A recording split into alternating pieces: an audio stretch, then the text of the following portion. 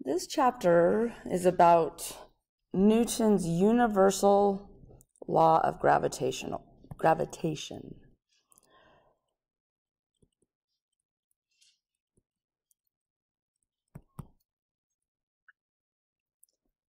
So we've all probably heard the story that an apple fell from a tree. Sometimes I hear the story with it falling on Newton's head. Regardless, he did think through the concept if it, the earth pulls an apple towards it, then why not pull on something farther away, such as the moon? And so, through many years and encouragement from others, Newton, of course, had to invent calculus to come up with this universal law of gravitation. But he posited that gravity is a universal attractive force between all objects in the universe.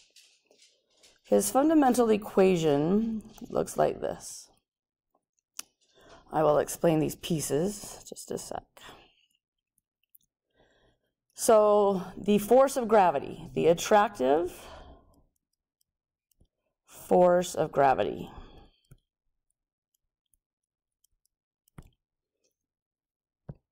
Capital G is the universal gravitational constant.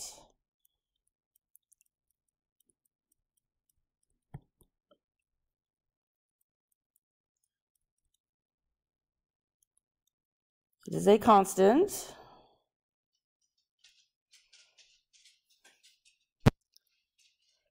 The value of this constant is 6.67 times 10 to the negative 11. It does have units of newtons meters squared over kilograms squared. It is a very small number, which partially explains why to have an obvious force of gravity, one of the objects needs to be extremely massive. M1 and M2 are the two objects involved in the gravitational attraction.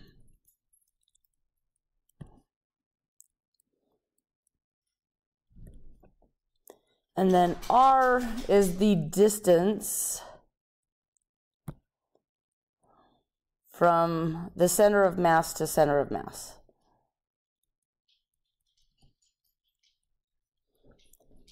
This is called an inverse square law, we find that many of the forces in nature are, they fall in this category of inverse squares, in that the distance between the two objects is in the denominator and it is squared. And so if I, for example, if we had the sun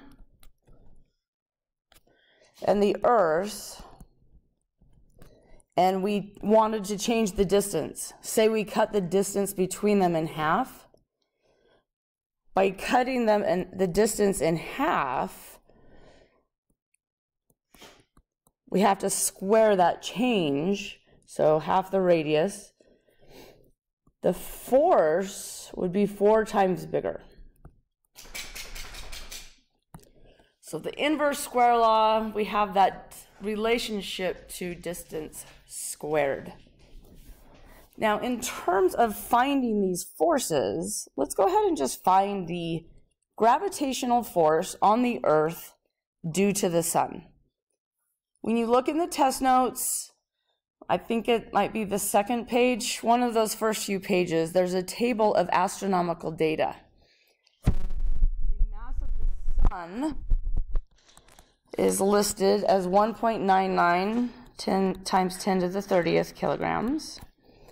Mass of the Earth is listed as 5.98 times 10 to the 24th kilograms. And then the distance between them, on average, the Earth does not orbit the Sun in a perfect circle. So the average distance between the Sun and the Earth that is listed is 1.5 times 10 to the 11th meters. So plugging into our equation, we have our constant, This very small number.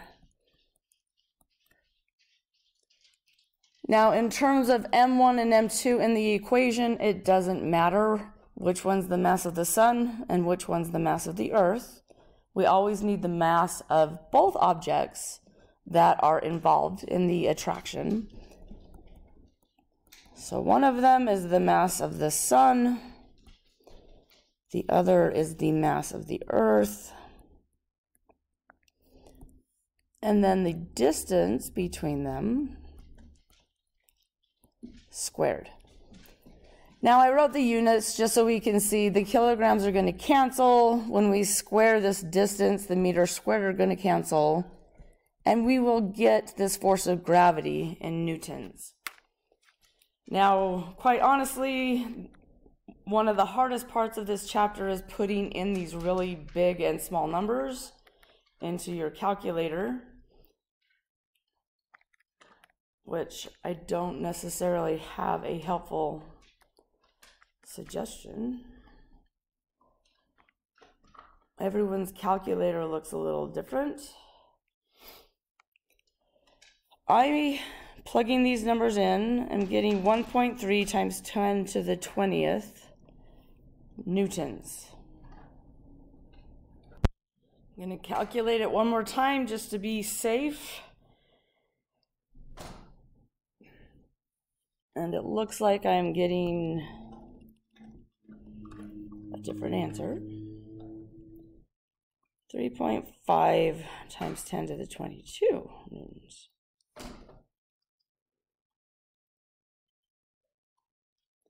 Huge force of gravity.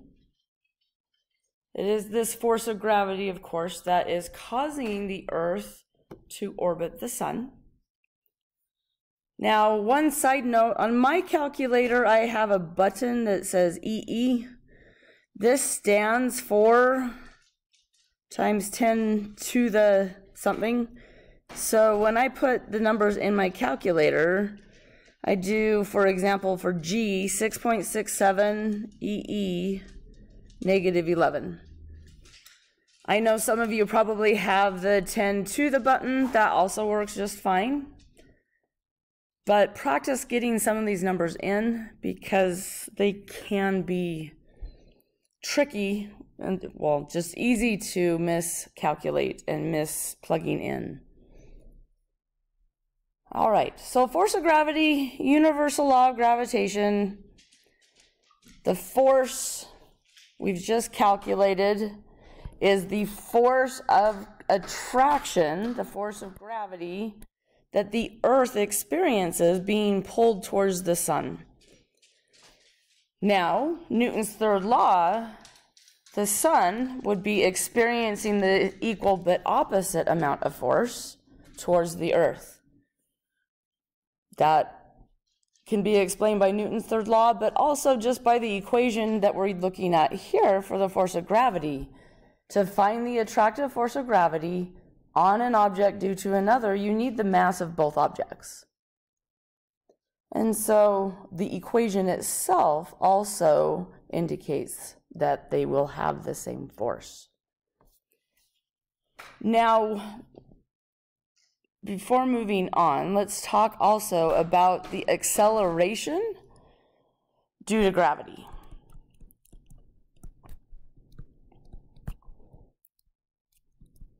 If you remember, we have been using up until now, g is 9.8 meters per second squared.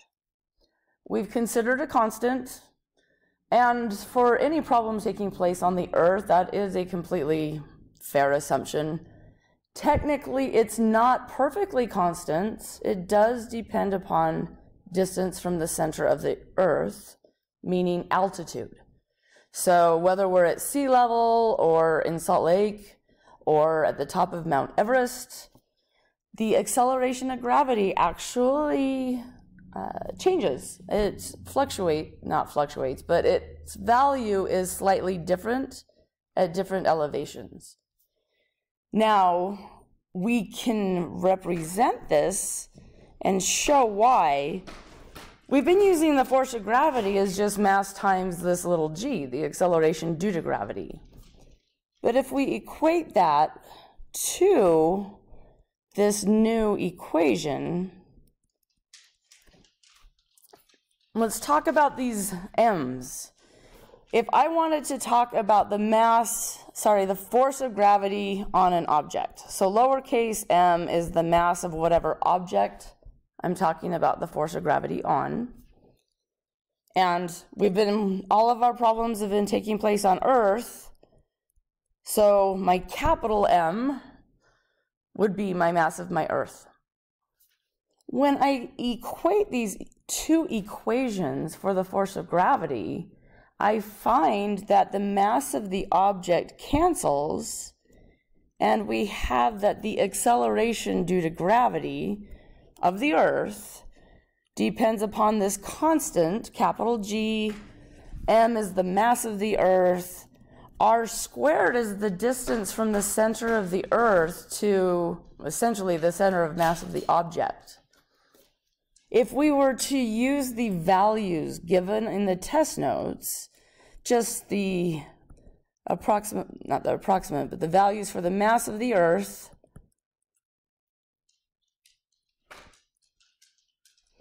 They give us an average radius of the Earth. It, of course, isn't perfectly circular, as we know.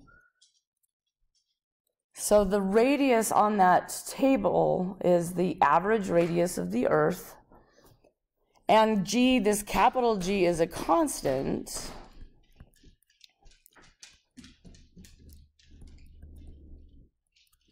We can calculate using these values.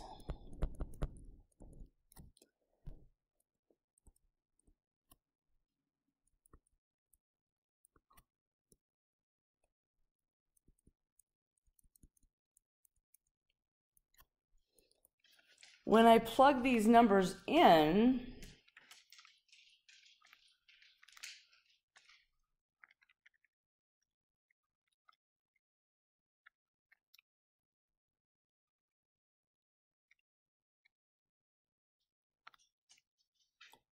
I'm getting 9.8.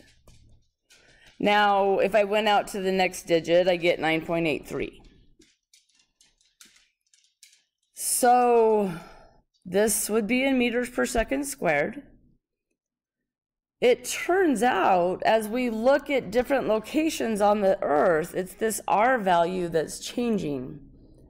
If we're down at sea level, then R is smaller. If R is smaller, then G ends up being on the bigger side.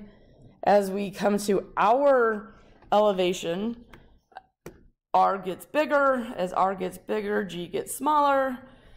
Ultimately, the value of G rounds to 9.8 meters per second squared anywhere on or near the Earth. That includes going to the peak of Mount Everest, even. So the highest peak, it might be 9.75, 9.77. I haven't calculated it, but it would round to 9.8. And that's why we've just gone ahead and considered it as a constant it just simplifies things for us. This equation, though, allows us to find the acceleration due to gravity for any object. For example, there's a lot of research into sending people to Mars. We could find the acceleration due to gravity on Mars. Big G is our constant. We would need the mass of Mars and then the average radius of Mars. We could do the same for any planet. We could find the acceleration due to gravity of the Earth towards the Sun. We calculated before that the Earth is attracted to the Sun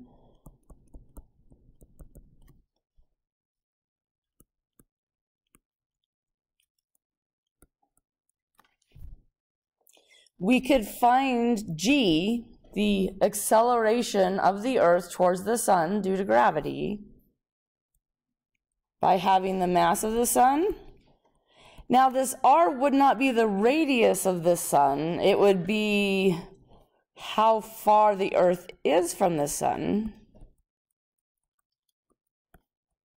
Center of mass to center of mass. So r is just whatever distance the object is located at. And so how far center of mass, center of mass. This would give us the acceleration due to gravity of the earth falling towards the sun. We could do the same for the moon attracted to the earth.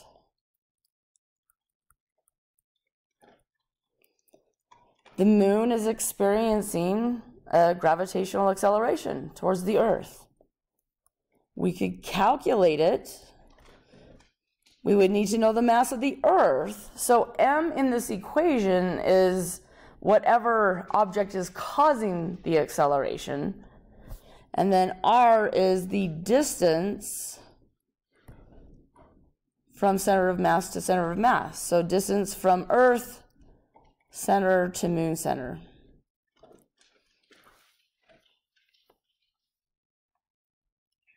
So if we think out in space, many objects, they're all gravitationally attracted. Now, if you actually go into the field of astrophysics, you actually need to look at relativity because uh, relativity, special relativity explains it better than Newton's laws, but Newton gives us a good approximation.